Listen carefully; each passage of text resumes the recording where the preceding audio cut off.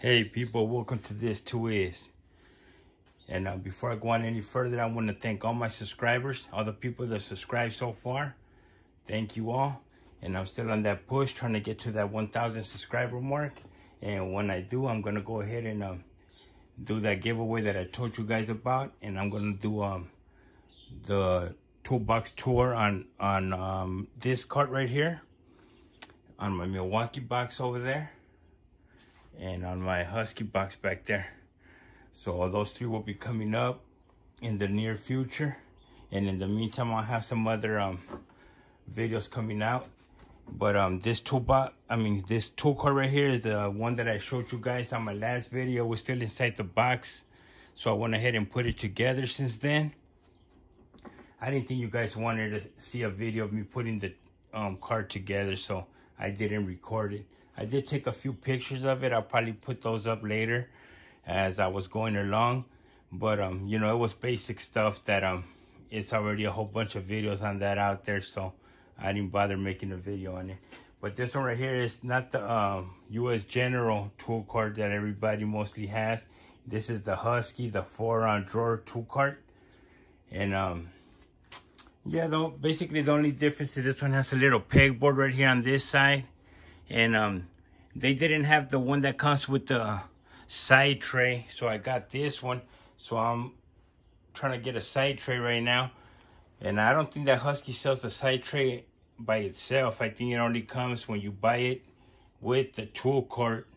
So i guess i'm gonna have to go the u.s general route and get one from harbor freight. So this this box right here is actually longer than the harbor freight ones it's um this one is 33 inches in length. And in depth I believe it's um 20 or 22 inches somewhere around there. I, I'm not sure but I know that the length is 33 so I need to figure out if um I need to get the uh, the side tray the one that's for the four drawer tool cart or for the five drawer tool cart. I need to know um you know which which depth is the one that will fit it the best because um it's a big difference be between the two um side trays. I went to the store the other day, but they didn't have black, so that's why I didn't buy it. But I'm thinking it's gonna be the one for the five drawer that's gonna fit this one. But if anybody knows, please put it down in the comments and tell me which one is the one that uh fit this this one here. But just real quick, I just I'll just show it show you what I've done so far. Oh, I'm not done putting it uh, putting it together yet as far as the way my tools are gonna stay on here but so far I've already transferred a few things over. You know a few screwdrivers some sockets. I got impacts up here on the top and some more screwdrivers over here on this side some uh, pry bars uh, some stubbies some um, um, wrenches right here. And just you know all kind of stuff in that drawer. And organized a little bit. Not exactly um, all the way yet but that's what I have so far. I don't know like I said I don't know if it's gonna remain this way but for right now that that's the way I have it and here I got some more of those um, sockets, my chrome ones. Some extensions and stuff right here in this tray in the middle and some punches and stuff. And, and down there I just got some stuff for right now. Nothing is set in stone yet. Nothing is um, permanent. It's just for right now. But anyhow, yeah, I'm gonna put the side tray on this side the side trail go on this side. And I got another set of screwdrivers down here. But um I went ahead and picked these up right here. These are a, a 10 piece 3 8 inch drive thin wall deep impact socket set is the metric and it's um size 8 9 10 12 13 15 16 17 and 18 so it's skipping a few sizes is skipping the 11 and the 14 between 8 and 18. So it's skipping two sizes. And then it also has that little um, adapter right there for the impact driver. And then it just says um, is black oxide finish, deep socket design, chrome moly impact grade steel, slim design, dual mark sockets, designed to work with a quarter inch impact driver. And there's the number for that one. So I got this because I, I wanted some thin wall um, impact sockets. I, I have some 3/8 impact sockets, but I didn't have any thin wall ones, so I went ahead and picked those up. I got some swivels right here for the half inch and some for the 3/8 or yeah. And then I also picked this up. Oh, right now at Lowe's, they have this um die grinder right here down to $39.99 people. So if you guys are in the market for a die grinder, I would say go ahead and check out your Lowe's.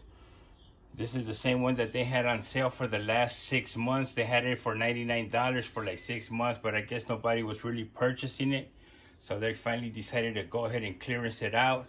And at most stores, they have it right now for um, $39.99. So we're gonna go ahead and look at it. I already opened it, that would not take up all day long.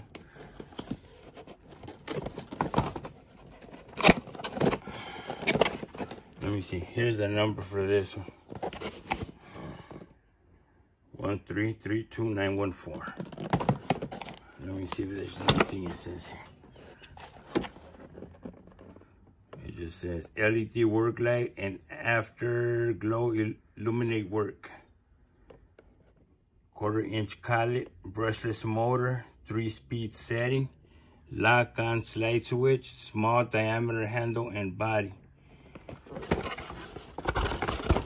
And pretty much straight to the point, it just has the little wrench to change the um, the bits. It has the instructions.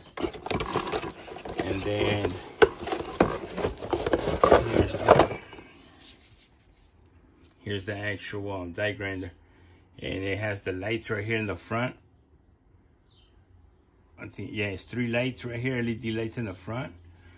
Then right here on the top, it has the lock. So you could lock the collet as you're changing the uh, bit. And then here's the, uh, this is what you press down. So basically you press it down and push it forward. Oh, I can't really do it one. Let me see, let me try it with the other hand.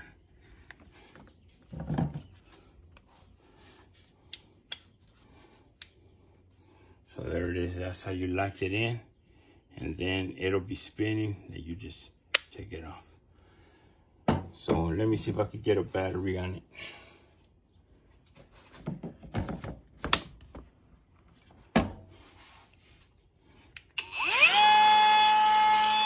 So there's the light.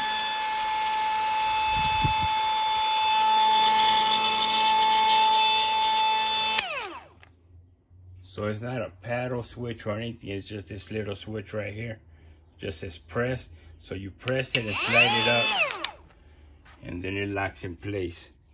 And then right here and right here on the bottom, that's where it has the um, setting for the speed.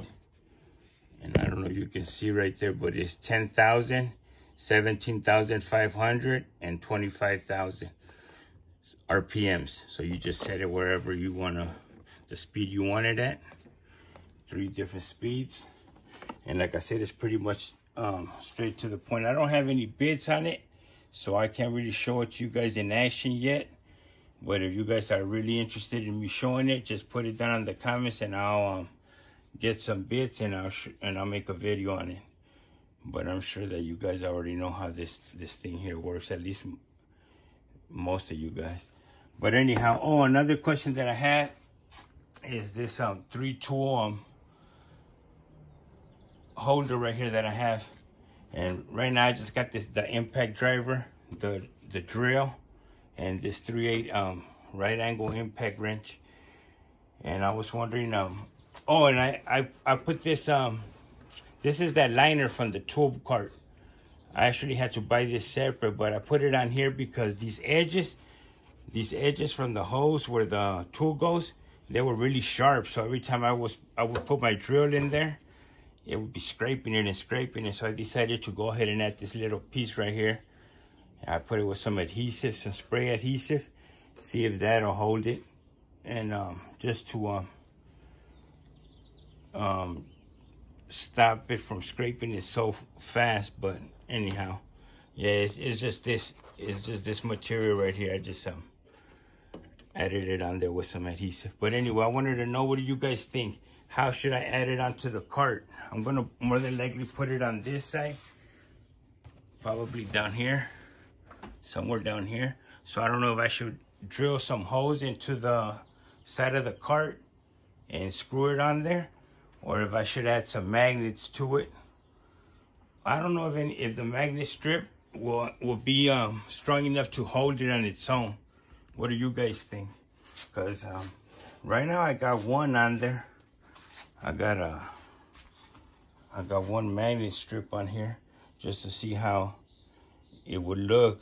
But I would probably add another one the opposite way, screw them together, and see if that will be strong enough to hold it onto uh, to the side of the tool cart. But if not, I'm gonna probably have to screw it in. I think there's a few uh, videos on other people who have it. And if I'm not mistaken, everybody has screwed it on. I don't think anybody has used just the magnets on it. Um, but uh, you guys could give me some ideas. I would appreciate that. And um, yeah, so that's all I have for you guys right now. I just wanted to pretty much tell you guys about this um, deal on this die grinder. I figure for 40 bucks, you can't go wrong. So if anybody's interested in that, I would suggest you um hit up your Lowe's and see if they um have it in stock. So um that's all I got for you right now. So keep on doing what you do. Don't let nobody say you can't do anything. Stay safe and I'll see you guys on the next go around. Bye. And with that being said, people, if you like talking about tools, go ahead and subscribe to the channel.